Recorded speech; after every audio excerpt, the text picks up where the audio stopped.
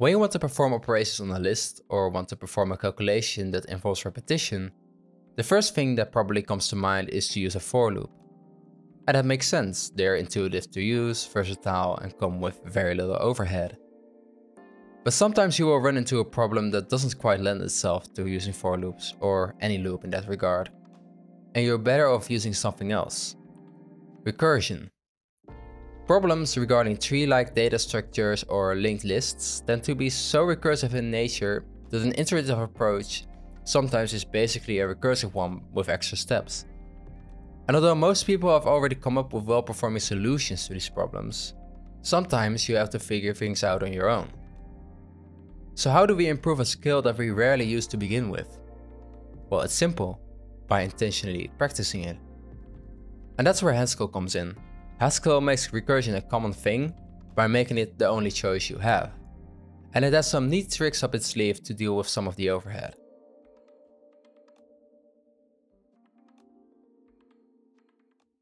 Let's see how Haskell approaches recursion by writing a factorial function.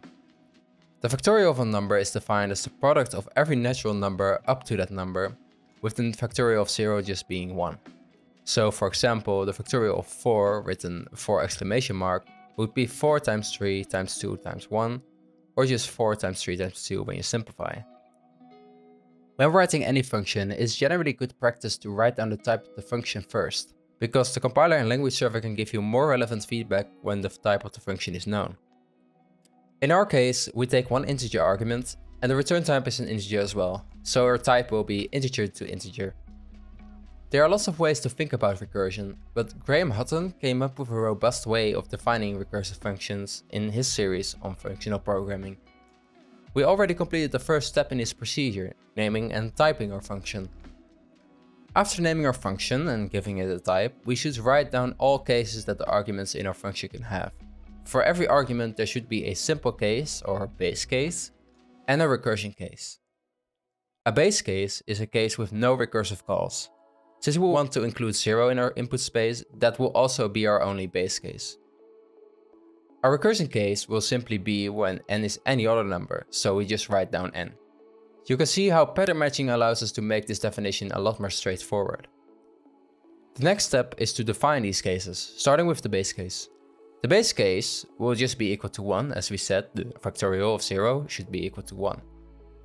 And a recursion case should consist of recursive calls with parameters that close in on the base case. So in our situation this would be n minus 1. It should be obvious then that we write our recursion case as n times factorial of n minus 1, because in the end this will multiply n with every number that's smaller than itself. And that's our final code. This was a very simple example and we will take a look at some more involved ones in a moment, but before that we need to talk about lists. Haskell lists are what we call linked lists. Unlike lists in most languages, which dynamically allocate or free up a contiguous region of memory to deal with the size limit, linked lists create a node for every element, which is a pointer to the next node in the list. In most cases you tend to avoid linked lists, because these nodes can become very spread out in memory, which hurts cache utilization when working on lists sequentially. But sometimes you're better off using them, so again, Haskell helps to keep your blades sharp here. Let's make a list of the numbers 1 to 3. We can use the syntax we're all familiar with to write list literals, especially if you're used to using Python. The type of this list is simply integer within square brackets, which should explain itself.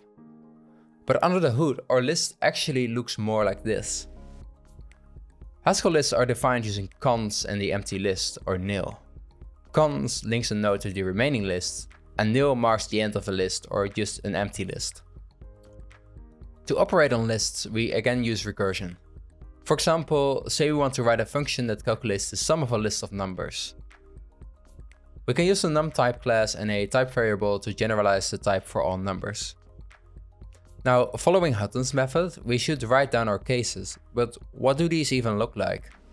Well, we need to go through every element in our list, so our recursion should end when we reach the end of the list, aka when the input is an empty list or nil. Therefore our base case will look like this. Okay, but then what about a recursion case? Well, if we look at the definition of a Haskell list, The only other thing we can pattern match on is something with cons. And it helps to think of cons not as an operator here, but as a data structure that looks like this. Here, x is our current elements and x's is the remaining list. You can name these whatever you want, but x and x's, or y's and y's and so on, is what's conventional. So now our recursion case would look like this. Onto defining the cases, for our base case the sum of our empty lists is just 0. And for the recursion case, we can actually use x and x's in our expression to calculate the sum. This will simply be the value of x added to the sum of the remaining list. Okay, let's take a look at one more example. Take is a function that takes a number of elements from the beginning of a list. So take tree ABCDE would just return the list ABC. Again, start with the function name and type. We have two arguments this time, an integer indicating the number of elements to take, and a list with elements of any type. The return type is simply a smaller list of the same type.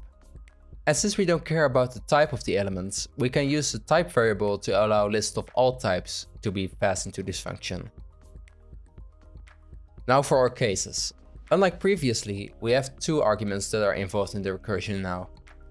We should make sure that every combination of base or recursion cases for each argument is taken care of, so we write down four cases. When we take zero elements from any list, we get an empty list. And likewise, when we take any number of elements from an empty list, we get an empty list as well. So our first three cases will simply evaluate to an empty list. And for the last case, we should return a cons of some sort. If we want to take n elements from a list and n is greater than 0, we know the first element of that list should be x. This should then be followed by the next n-1 elements in the remaining list. We can therefore write our recursion case like this. So we are done, right? But you might have already spotted that we seem to have some repetition in our code. And this is where the last tip of Hutton's method comes in. Generalize and simplify. In our example, if the first argument is 0, an empty list is returned no matter what. And the same goes for when the list is empty. We can therefore rewrite these cases into the following two.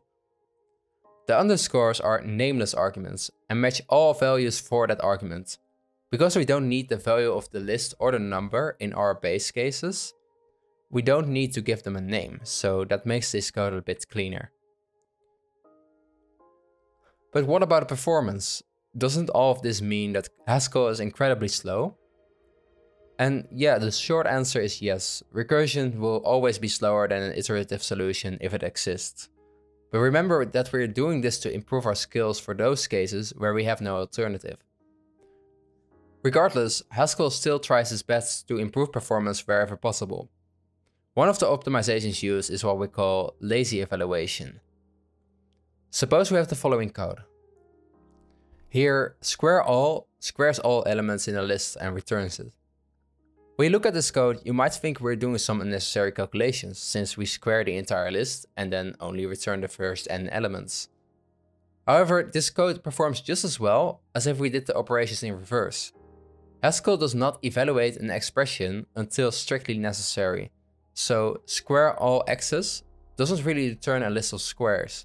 Rather, it returns the expression that calculates that list and passes it on to the take function. It will then take the first n elements in that expression, giving us the final return value. When the values are needed, only n elements get squared, even though the square all function was called first. There's another benefit of lazy evaluation that isn't performance related.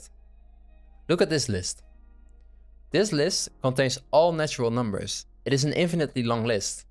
And this is possible because the next element of this list is only evaluated when it is actually needed.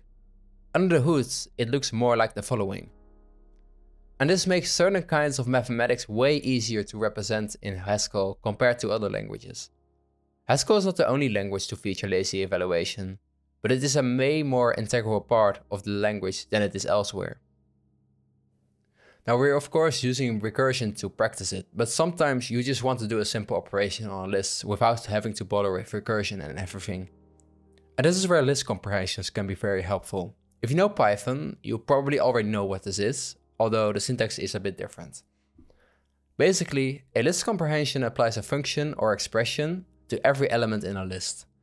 For example, the square all function from before can be written like this.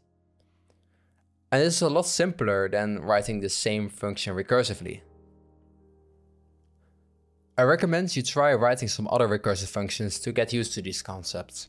I wrote down a few exercises you can try yourself. Next time, we'll be looking at how we can generalize some of these common recursive patterns in what we call higher order functions. Until then, stay inspired and have a good one.